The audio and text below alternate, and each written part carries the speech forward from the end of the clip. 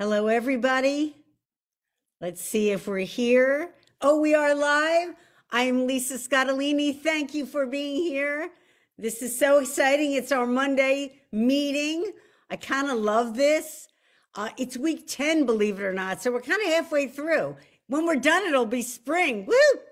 But I am super excited about tonight because I'm going to be telling you a little secret thing that I learned in research and also making an announcement. Bear with me while I try to see. Oh, there we are. Okay, comments I can see. Oh, I love it. See what I see? Isn't that cute? You guys, thank you. Oh, Donna, thank you for being here. Lori, Joanne, hi, Lisa, Dale Perry, thank you so. Oh, I love when the hearts come. What is it about a heart that is just uh, it's just so nice. You guys, I really, really appreciate your being here. Thank you so much. Sharon, been reading all your books. Thank you for that. Christine is here. I wonder if I can heart, get heart back. Let me see. I'm too nervous. I'll break anything. Rosemary, look forward to this every Monday. I look forward to it too. I was just telling Laura that it is the only day of the week I wash my hair. Did you want to know that? All I'm saying is my hair looks better only on Mondays. Tuesdays, it's still decent. Wednesdays, by Friday, you don't want to leave the house. By Saturday, I'm wearing a hat. By Sunday, I'm wearing a hat and a pillowcase. It's not a good look. But Oxford, Pennsylvania, woohoo! Oh, this is so nice. Sharon, Diana, thank you all for being here. I really, really appreciate it. I really do. And I'm going to like, I won't vamp for a long time because all the dogs are fine, but they're asleep. So God forbid we wake them up. But also, there's a lot to get to tonight and an announcement and secret things and giveaways. So I'm going to kind of like wrap this up and we will go right into the, uh, the little video and start it up. So go for it. And I'll vamp till it comes on but it's going to be oh someone's talking about my hair. That's that's really all i care about my hair. And there is gray showing but don't look. Sally who has won a prize in the past sally davis thank you for being here. Oh garnet valley beautiful place. Howdy from st louis. What what? I go to the st louis library a million times. I love it so much. Chester springs oh i've heard of that. Oh what a beautiful pic oh uh, oh uh, oh uh, i'll shut up. Here we go okay be ready be ready Oh, that's not the right thing. A bad thing is happening. Hold on. Bear with us. All these people watching. Bear with us. We're, you know, I'm just a lady in the suburbs trying to make something happen. There isn't a, you know, machine behind me that all, well, I'll take that. I'll take that. Let's See if we can get the video going. Oh, it's dizzying, isn't it? Millions of things are flashing and going crazy. Hello from Maine. I love Maine. Pretty in pink. Woo woo. Uh, pink is my favorite color. Marty Keeley. Marty. Oh my God, this is so great. Thank you for being here and watching weird and strange things go across the screen.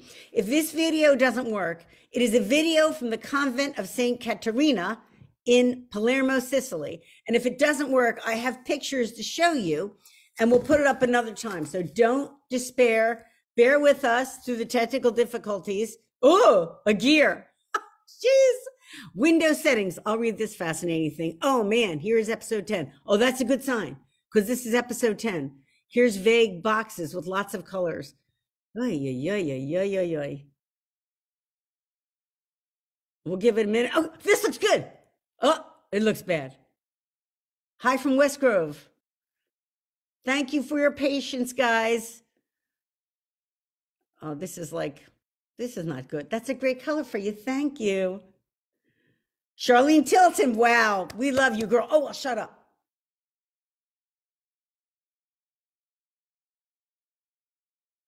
I don't hear it.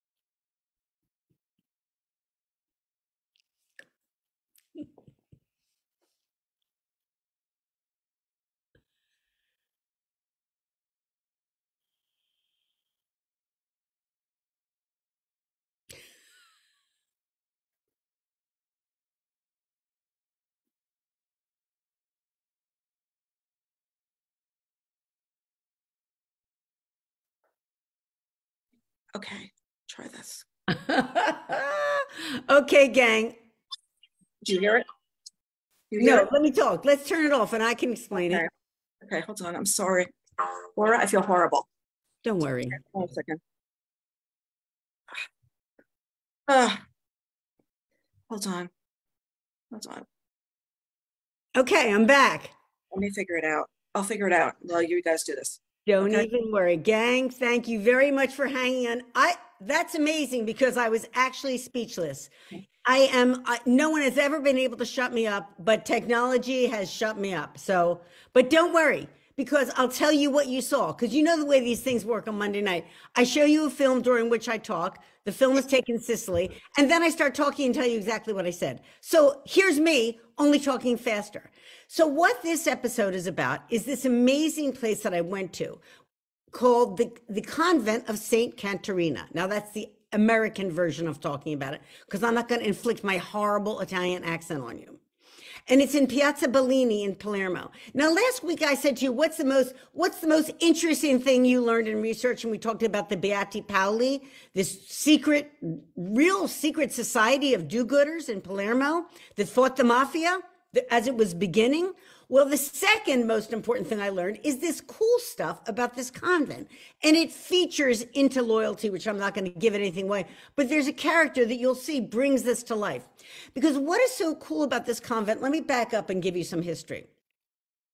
If you remember, we've talked before about the Spanish Inquisition, and the religions on Sicily.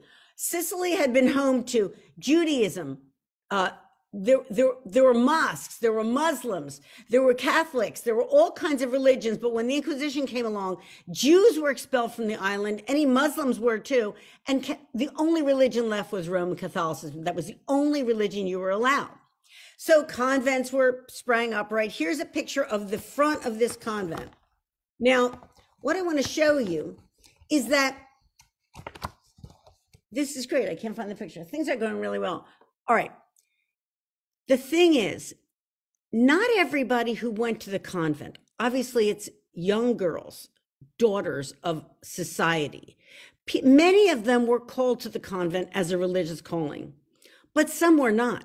Because when you go back to the customs of the times in the 1800s, what it was is daughters of nobility, it was a sign of prestige to have your child in a convent. And the, the options to women in this time were very, very few. In loyalty, I have a character like that who was in a convent. I won't give too much away, but here's the books to see what we're talking about, give you some framework. And I, what I started to understand with the women's lives were very interior, right? They, they really weren't supposed to go out during the day. Um, they certainly were they were regarded as property. They they had no rights of their own, and there was enormous sexism, obviously. And so the the and so when you even look at the the state of the convent, it was a cloistered convent, and this convent of Saint Caterina was one of the most famous in Palermo at the time. And so, daughters, here's the front. Here's what it looks like. Here's the front of it.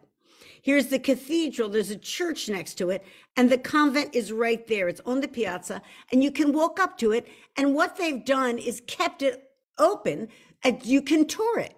And so that is really cool. And what's really cool about it is that they actually sold baked goods there. And that is sort of an interesting idea because the, here's what it looks like inside. You walk through and it's very, very spare, as you would expect of a convent. You know, it's not like not cushy. These are the original floors from the 1800s. These are the arches. They overlook a courtyard, which you saw me standing in. You didn't have to hear me saying dumb stuff. You could notice that my hair was incredibly overlightened, but that happens. I mean, I was like trying to look all sunny. Now I'm trying to look all gray. It's great. Anyway, so there I was, and this is all this whole thing.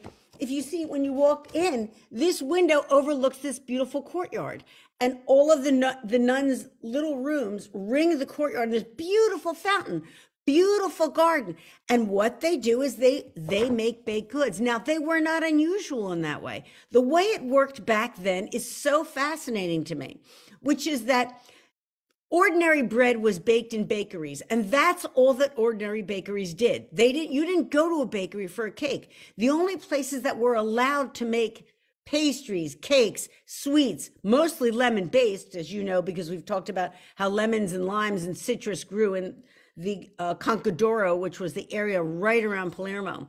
Those were made in the convents by the nuns, usually the daughters of nobility. It was very um, fancy and tony, and the pastries they made. Believe me, I have pictures for it because it's still it's still it is an amazing location, Cynthia. It was a beautiful, beautiful convent, and you could walk around it. And so when you tour it, the first thing you see is the big basket at the beginning, which is all their um, rolling pins. Isn't that so touching? All their rolling pins, and then they have a little display set up of their molds.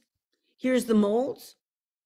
They would make different things, and all of the pastries they made, many of them had religious significance. In fact, as you know, or you may not know, because I mentioned it earlier in another video, that there, there, there religion was so powerful and so strong and everybody was such a fervent believer.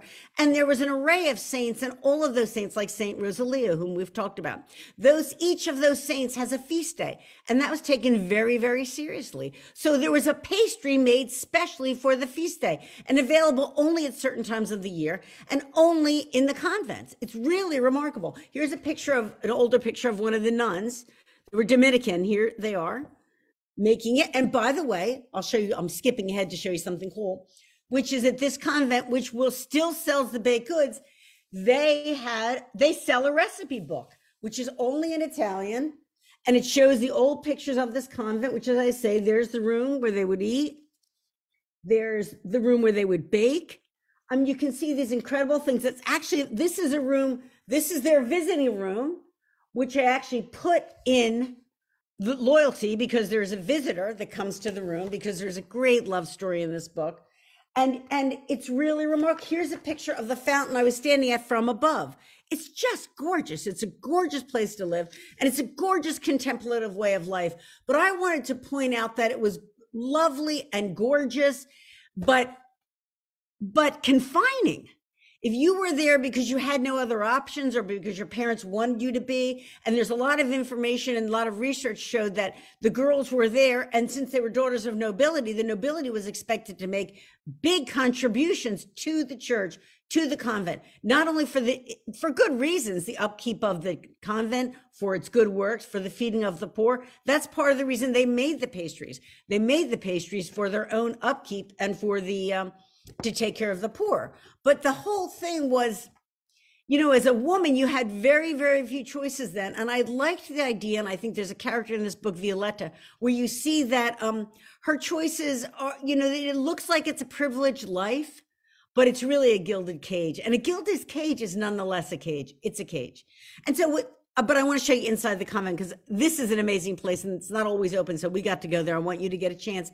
If you don't get to go, here you go. Here's actually somebody that's not a nun. This is modern day.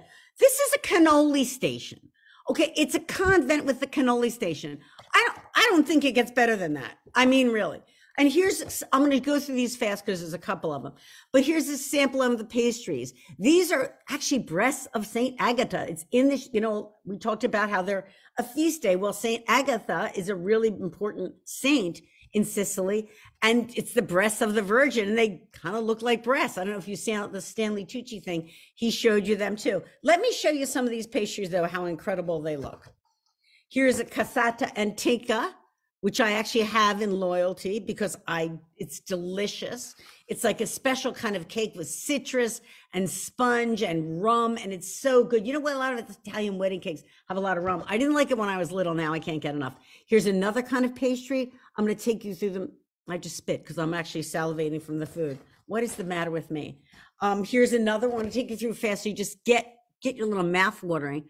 I put as many of these in loyalty as I could because I thought I love this about this very unique thing that who would think that a convent is what makes the pastries. And if you read literature about Sicily, like we talked before about Lampedusa the leopard, you know, he he eats the lemon cake made by the nuns in the convent. Look at this. Of course, right? The lemon slice, you know why.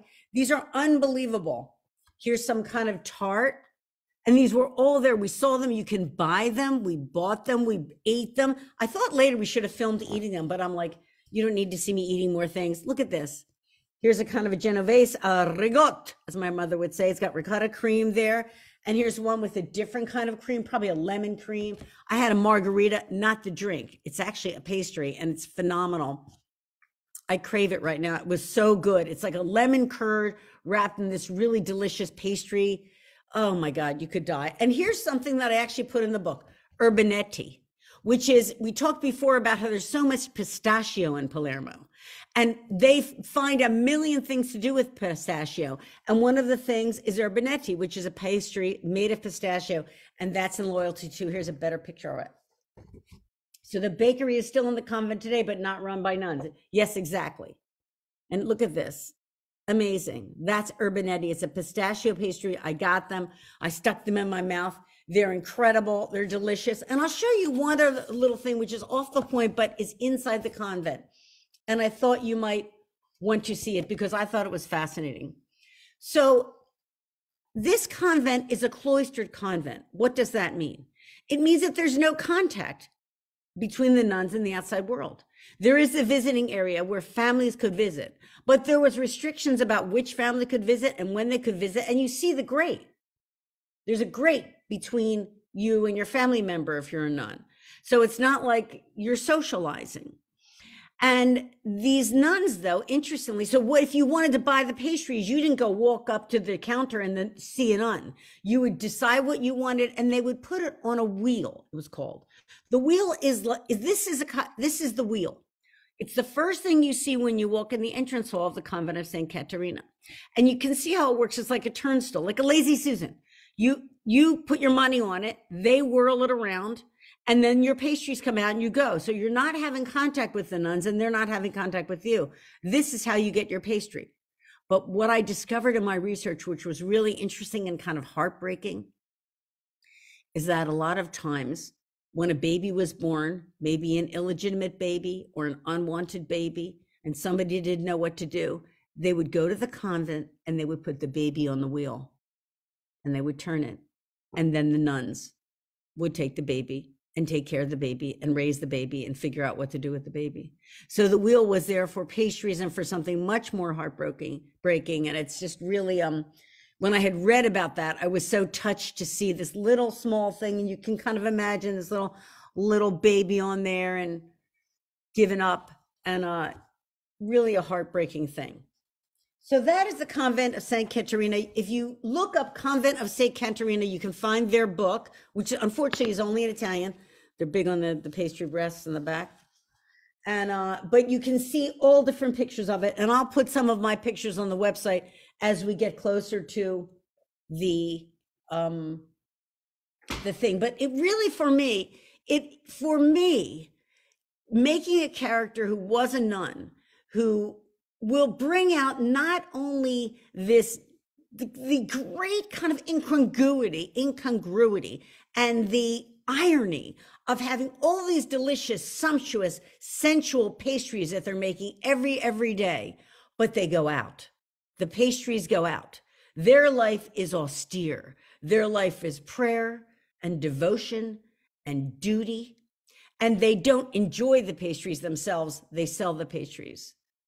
That austerity contrasted with that abundance and extravagance and enjoyment of a sensual pleasure or just of eating as compared with the lack of pleasures they had their ascetic existence was something i really wanted to set up because i, I think as i've said before i like to try to give you my little secrets on these things and um, I think irony like that has a real wrench in your heart. You're like, ah, I want to be here. No, I don't want to be here. I would love to be here. No, I'd hate to be here.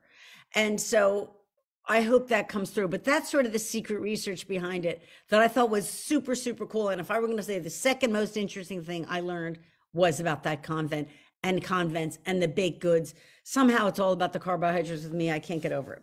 Now, moving on to author spotlight. You know, I am so excited to have other authors read Loyalty, and they were nice enough because they liked it to say something nice.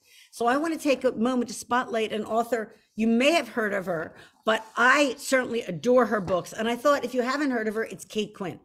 By the way, before I begin, the Pink Sisters, I know all about the Pink Sisters at Cloister Community. Believe me, they have been praying for me since law school. Thank you, though, Nancy. Um, cloistered convents still do exist. In any event, Kate Quinn is a wonderful author of historical fiction and a really nice person. She is so generous. And when I wrote to her just as a fan and said, listen, I've loved your books for so long. And do you, would you mind reading mine? I'm new to historical fiction. She said, I will absolutely read it. And this is what she said about the book. And then I want to tell you more about her books. This is from Kate Quinn, diva of historical fiction.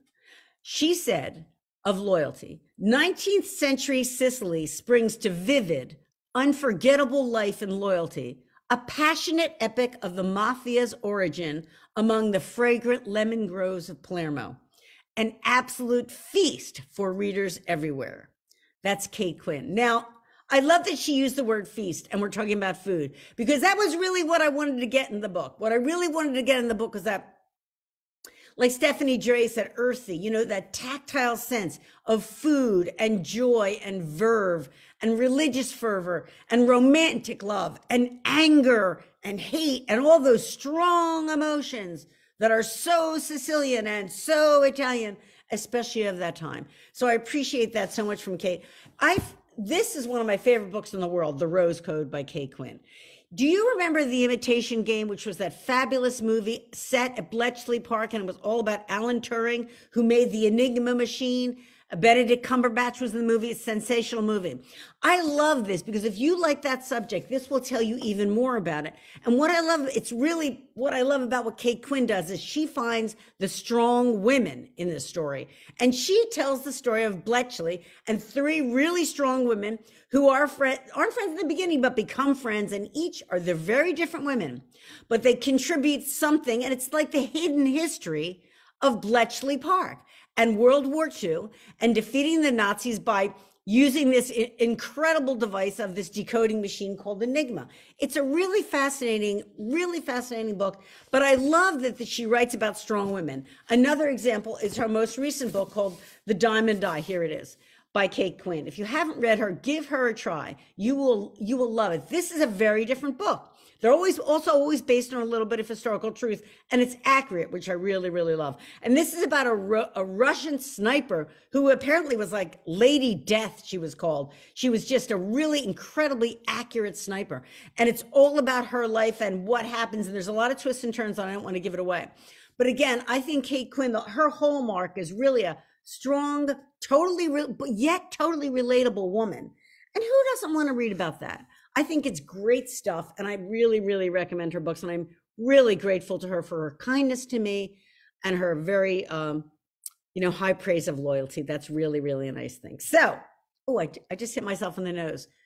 This is a problem when your nose is so large and you use your hands when you talk that eventually you'll whack yourself. It happens. Okay. So, what's next? What's next is prize time. An announcement. This is kind of a combo platter. So I'll try to get get through it and not bore you. So you know, we are giving away a prize this week. We tried to give away Italian themed praise, but this is an Etro scarf from Bergdorf Goodman. What? I told you these are nice prizes. I'm in love with this scarf. I love Etro. It is a sensational Italian designer brand. And what we do, this is me once again acting like high end QVC. You would think I sell scarves for a living. I don't. What I do is write books for a living. And what we're doing is running a sweepstakes. So if you pre-order the book and you sent, go to my website, follow the directions, do what the lawyers tell us what to do. And also you don't have to pre-order the book. I'm obligated to say that, but also it's a, a moral duty. But in any event, then what you do is you um, send your entry entry form to me, and I put it in our yellow lemon yellow straw bag I like a theme. You get it? And um, we put it in here. And this week we're drawing for the Etro scarf. And after that, I will tell you what we're drawing for next week. So don't feel sad if you don't win this week. One person will win. Sally Davis has won before. Lots of people have won before. Uh, I mean, I love scarves too, Wendy. I mean, uh, they hide your neck. Let's be real. Uh, so you go through this and you pick one out. This person is going to win the scarf. But next is an is an also awesome prize. Please do think about pre-ordering. Please do, which I would love and be very very grateful for you to you for. Uh, I just ended the sentence with a preposition, which you're not supposed to do. But in any event, I got a winner. If you enter soon, we have 10 more weeks of this frivolity, this hilarity, prizes, giveaways, carbohydrates, Sicily. We have, so the sooner you get it in, the sooner you can win. You get 10 chances. It's really unbelievable to me. I think it's unbelievable. These prizes are awesome. And I appreciate what you do. The reason I'm doing this is to say thank you to you for your support of my books. You guys have been with me from the beginning. You come every Monday night. I really, really appreciate it. It's a great big crowd, and I love you deeply. Let's see who gets this scarf. Bum, bum, bum, bum, bum. It is Rosemary Herring from Philadelphia, a homegirl. Woo woo. Rosemary Herring, are you here tonight? Spending time with you is our prize. Oh, Donna, you're so nice. Awesome prize. You guys. Rosemary, are you here? Area code 215 in the house. Area code, not yet. All right, we'll see. I know, Clara, only 10 weeks left. Hang in there. All right, we won't waste any more time on this. We will send it to her. We will get it to her now. Let me tell you what's next week because something special is happening. Very special. Next week's prize is can you see that? It's so white. It's an Apple ear, I don't know what they're calling it, ear pods. Honest to God, it's like an uh, AirPods. It's the noise canceling one. Yes, it is. It's this one. Do you see it? It's that. Truly legit Apple. Now, as I've said, all of the prizes are Italian themed. This is an Italian. Why? Because it's about reading. Oh my God. Is that John Colasante? I love you, honey bunny. So look, this is next week's prize. I'll tell you why it matters. Because this is the announcement part of our show. Little Lisa has big news. I have been asked by Amazon to write a short story for Amazon Selects, and they are publishing it in ebook and an audio book. And what is the story? This, this is the cover, as it will look at on your little phone or your laptop, and I'll explain more about this in a minute. The story is Pigeon Tony's Last Stand. This is what the cover looks like. Now, let me tell you about this for a minute. You know, many of you know the Rosato and Associates series, and then it was Rosato and DiNunzio. It is began with Everywhere That Mary Went. It's my first book ever. I love those women. I miss those women, their families, the DiNunzios, and the Tonys. I am not ending that series. That series is not going anywhere. I just wanted to take a break to write historical fiction. I'm going to go back to it. I have been missing it. I get a lot of Sherry, you're so nice. Thank you, Marcy. Already ordered. I get a lot of email going. I'm sad you ended the series. I'm like, I didn't end. Uh, I didn't end the series. I promise you. I get it. It sucks because I hate waiting to go back to them. But I, I, told you I got this bug in my ear to do this historical stuff.